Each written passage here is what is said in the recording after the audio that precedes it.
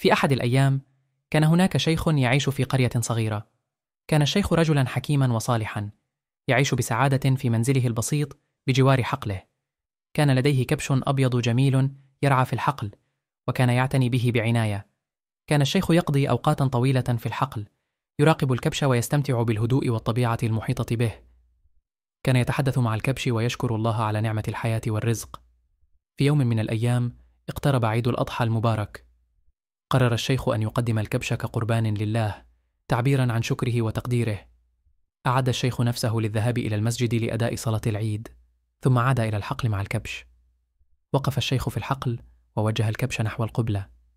بينما كان يلقي النظرة الأخيرة على الكبش شعر بالسعادة والرضا ثم قام بذبح الكبش بأمانة وتقدير وقدمه كقربان لله.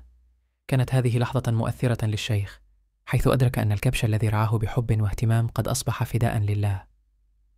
ومنذ ذلك الحين استمر الشيخ في العناية بحقله والتفكير في قصة الكبش الذي أعطى حياته من أجل الله.